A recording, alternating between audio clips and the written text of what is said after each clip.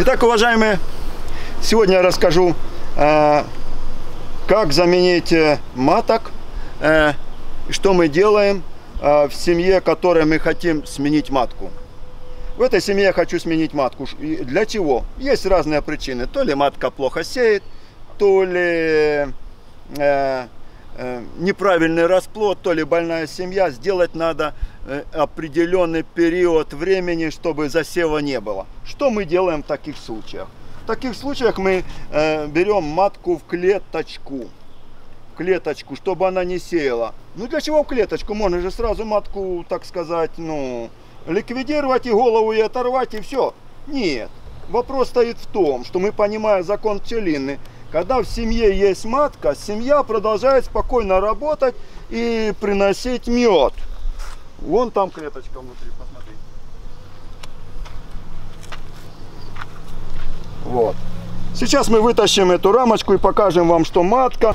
Итак, матку мы посадили в клеточку, э, поставили рамочку с расплодом здесь, чтобы они ее обогревали. Итак, смотрим. Оказывается, они матку выпустили, прогрызли сбоку, и матка вылезла. Вот здесь вот, смотрите, пожалуйста, вот с этого края прогрызли, клеточка не до конца. Оказывается, эта клеточка не совсем качественна, потому что не до конца вот здесь прогрызли, выпустили. Матка бегает на втором этаже у меня здесь. Сейчас мы ее найдем. Ну, а, вот она, вот она, пожалуйста, посмотрите, вот она бегает, видите? Вот.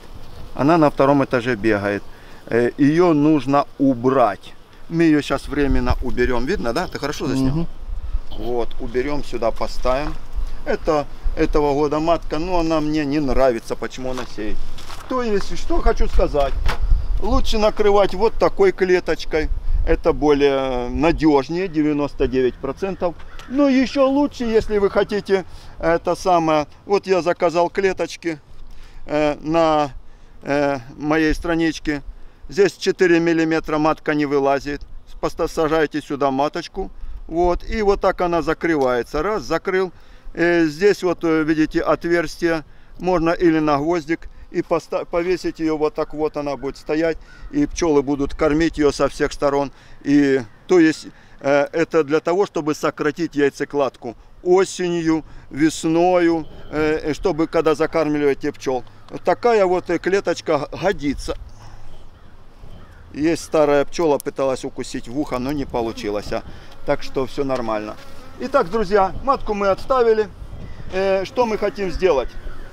Вот, сейчас мы убираем этот самый ящик, посмотрим, что у нас на первом этаже, так как матка была на втором этаже. Заложили они маточники или нет. Если не заложили маточники, то мы ее совсем уберем вместе с пчелами, натрусим, поставим в нуклеус, чтобы они заложили маточники. Вот.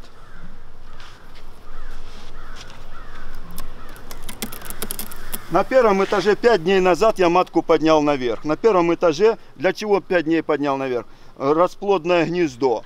И 5 дней здесь яичек уже нету. Уже все червячки, за 5 дней червячки. Поэтому, а, так как матка здесь на низу не сеяла, а раз она не сеяла, то теперь мы запросто можем посмотреть, что у нас тут творится. Э, Может, они даже маточники заложили. Бывает такая ситуация, что они закладывают свящевые маточники. Почему она мне не понравилась, эта матка? Она что-то стала тормозиться, сеять, понимаете? Хотя расплод и нормальный, так сказать, но она стала тормозиться, сеять. Вот э, очередная пчела попробовала меня ужалить и ужалила за пальчик, так сказать. И после этого, когда она ужалила, надо обязательно подымить, чтобы запах яда прекратился. Вот, пожалуйста, засевчик остался так сказать, видите, червячки везде, матки здесь нету, потому что я ее забрал. Вот это засевчик остался, молодой засевчик, вот который пошел, вот, пожалуйста, червячки. Все червячки 5 дней прошло, поэтому я знаю, что здесь ничего нету, так сказать, нового. И, и это пойдет уже не на, э, ну, с них не можно вывести червячки. Вот и весь разговор. А раз не можно с этих червячков вывести матку через 5 дней, то э, мы попробуем э, сюда подставить расплодик с другой семьи. Вернее, яички с хорошей семьи, чтобы вывелась матка. Вот, пожалуйста, это запечатаны, как видите. Вот, уже прошло 5 дней, они более-менее что-то запечатали, ничего мы тут не... Что мы можем, это самое, сюда? Мы можем поставить сюда маточник, который у меня есть на замену. Можем поставить яички, которые у меня есть, как говорится, э, от хорошей семьи. И они выведут точно с этих яичек, потому что 5 дней прошло, и они не, будут, не смогут вывести с тех, что тут оставалось. Когда мы забираем матку через 5 дней, э, так как она здесь на первом этаже не сеяла, то семья это обязательно, так сказать, займется тем, что будет это самое выводить. Тут ничего нету, так сказать, ничего нету. Вот.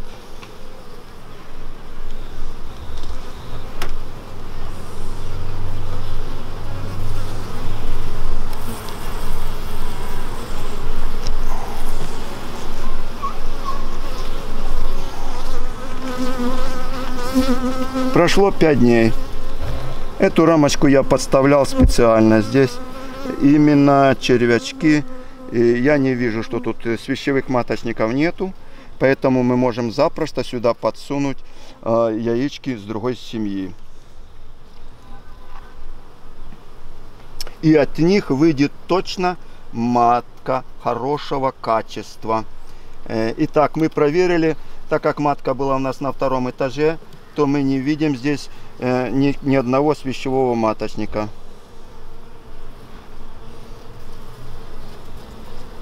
Что остается делать? Остается подсунуть сюда а, рамочку с яичками с другой семьи, с любой семьи, где матка есть, от которого мы хотим. Это будет значить вывод э, свящевых, свящевой, и свящевых маток только от качественной семьи. Можно подставить яички сюда, можно поставить сюда матку хорошую, можно подставить сюда э, маточник, э, можно поставить неплодную матку. Таким образом, в этой семье, уже с этой семьи не выведется ни одна матка, потому что 5 дней матка на первом корпусе не бегала. Мы ее отставляли на второй корпус. Итак, друзья, что мы сделаем? Ну, поставим яички, я думаю. Э, посмотрим. С другой семьи мы берем яички. Э, чтобы подставить и расплод. Ну, рамочку с расплодом, с открытыми с яичками. Э, э, смотрим, хорошая эта семья или нет. И подставляем. Это будет вывод маток от хорошего семени, так сказать. Секундочку, надо дымаря чуть-чуть дать.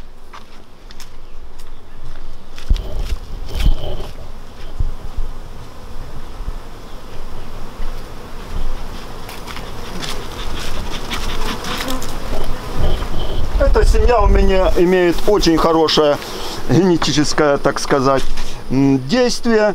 И моя задача сейчас вытащить отсюда яички. Где есть яички, я подставлял э, пару дней назад сюда яички. Ну, сейчас проверим, есть ли тут яички, засев есть ли. Так, здесь залито метковым напрыском не дали. А, есть, есть. Вот, пожалуйста, можешь заснять, если ты видишь. Вот, вот, пожалуйста. Вот эта эрия залита. Видно яички? Вон, товарищ. Да, ничего не видно. Ну, приблизь поближе. Ближе больше не идет. Вот это вот эрия с яичками. Не видно? Вот, вот здесь вот яички. А, плохо. Может, на большом экране будет лучше, не знаю. Ну, может быть. Окей, что мы делаем? Мы видим рамочка с яичками, вполне подходящая. И мы знаем, что от этой рамочки э, ну, мы ее пометим, что маточники могут здесь заложить. Итак, берем рамочку, пчел струсили.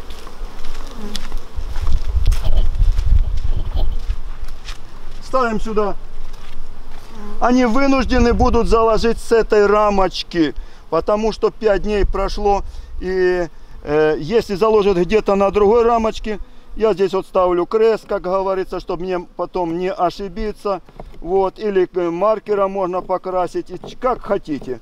Вот, другой раз я буду знать, что на этой рамочке по центру у меня должны быть маточники. Если они заложат где-то в другом месте, мы, мы через 5 дней посмотрим, то мы можем поправить это дело, подставить другую рамочку.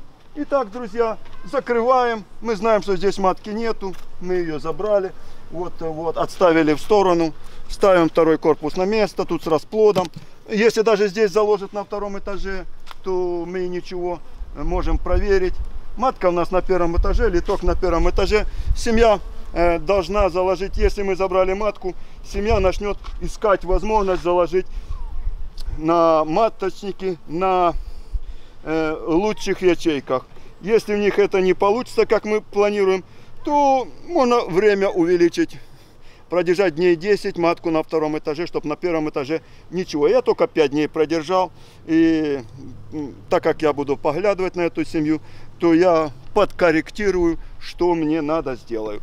Итак, друзья, если вам нравится такой процесс, это можно сделать, это я показал, как от хорошей семьи вывести э, э, матку в плохой семье, в которой вы хотите заменить. Удачи вам, ставьте лайки, подписывайтесь. Э, если какие-то вопросы есть, задавайте, постараемся ответить. Счастливо!